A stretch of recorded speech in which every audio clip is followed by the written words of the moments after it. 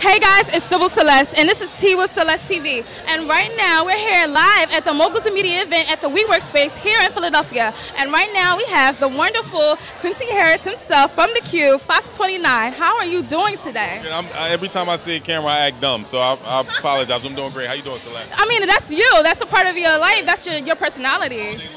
So listen, I want to know, you have your talk show now on TV. How do you feel about that? You're making big moves, especially in the city of Philadelphia. I appreciate it. I'm, I'm excited. It's been a, a long 20 year, 19 year road to get to this point. It's been my dream since I was 12 years old. Yeah. Learned a lot along the way.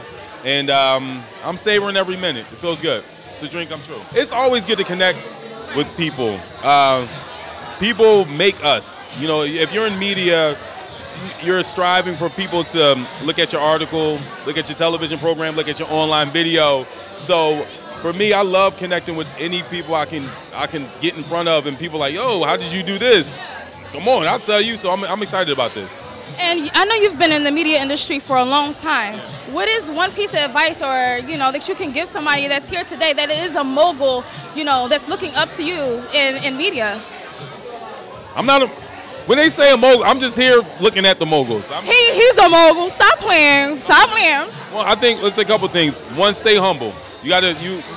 Anything can be taken away from you quickly. Work hard, add value, um, get a mentor, get people that have done it and that can pour into you so they can help you. I mean, no one's reinventing the wheel. This is everything you're trying to do has been done before. So get people and learn from other people and. Um, just never stay away from like stay focused with your dreams and write your dreams down and stay very laser focused on them and work on hard every day.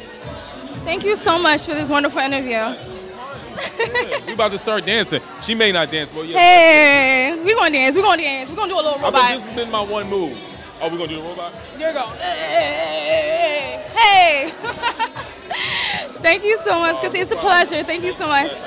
And this is So You Saw with Seleste, and this is Seleste, and we're out.